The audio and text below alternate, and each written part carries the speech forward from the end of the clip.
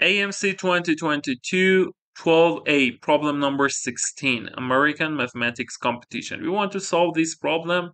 This problem has important idea in number theory that when we have product of two numbers equal to perfect square, two times perfect square, it's so much useful in BMO, British Mathematical Olympiad, and other math exams. So let's see.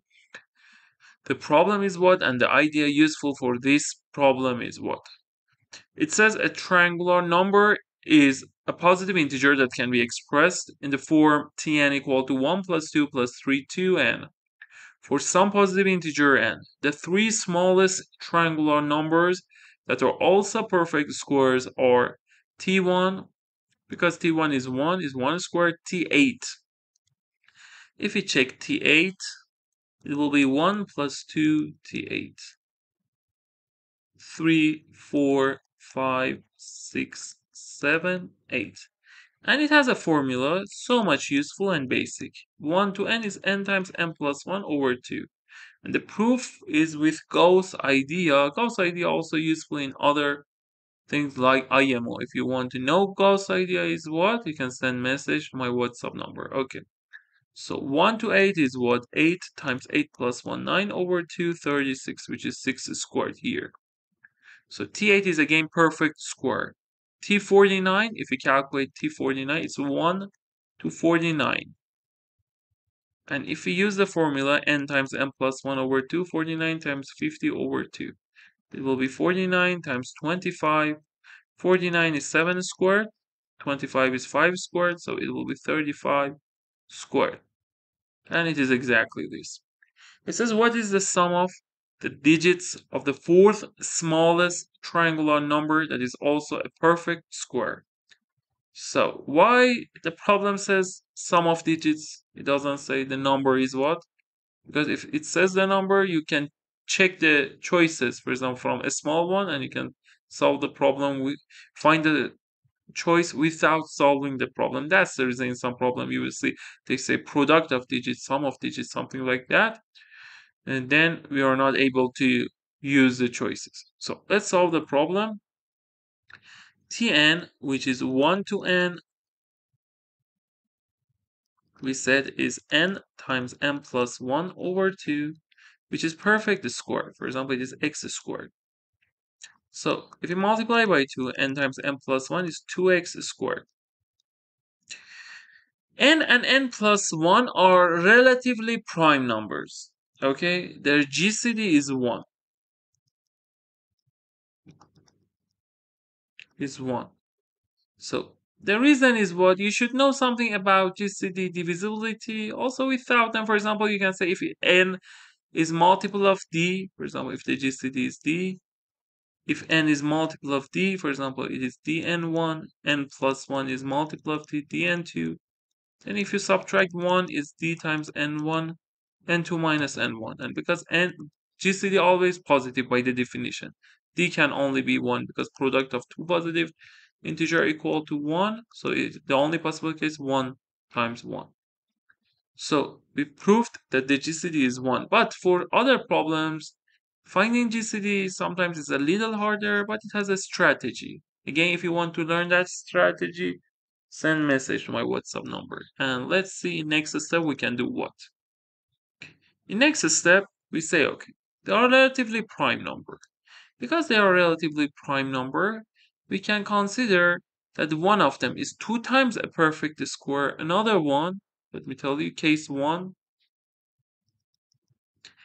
n is perfect square, for example, y squared and n plus 1.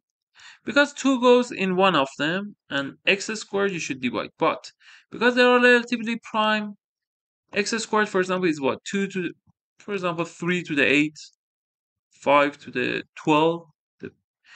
because these two numbers are relatively prime, each of them goes exactly to one of them. For example, we can't say 3 to the 8, 3 to the 5 goes to this, 3 to the 3 goes to this, because they are relatively prime. They don't have any common factor. So each of them goes to one of them. So one of them is perfect square. The case that 2 goes to that, these two will be 2 times perfect square. So we should consider two cases. Which of them is perfect square? n is perfect square. n plus 1 is 2 times, for example, z squared. Case 2.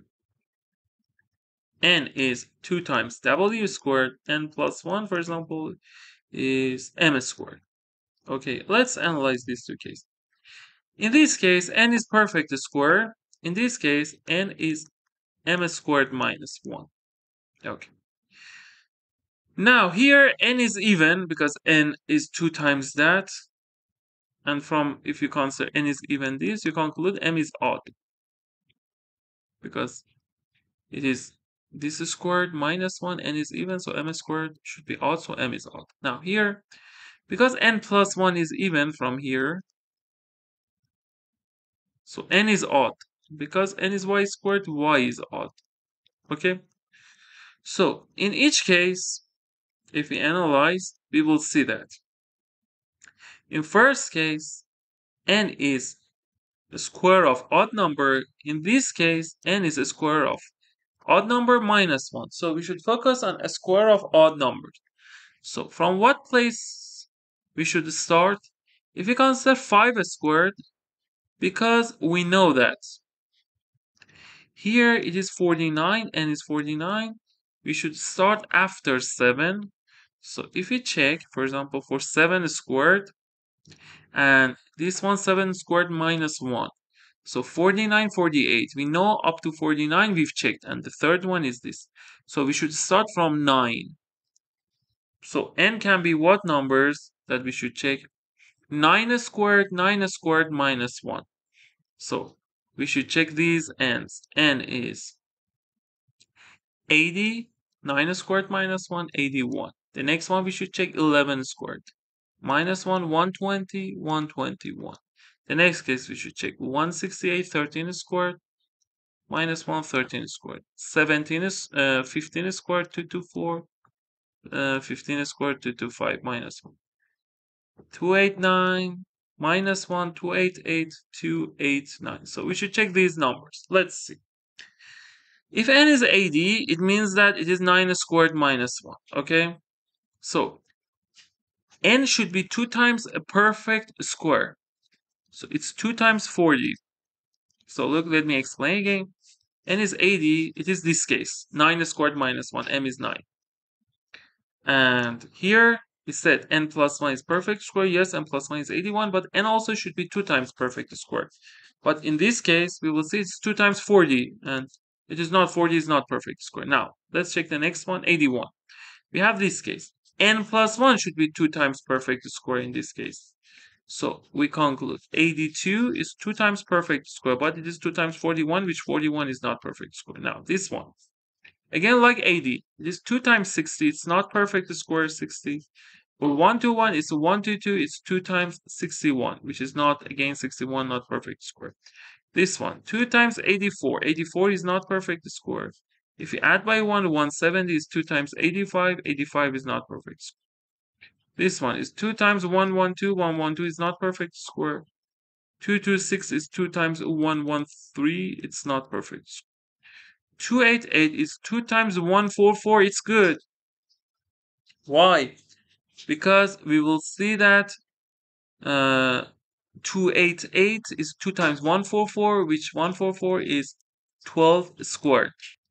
So we found the next n. The next n is 288.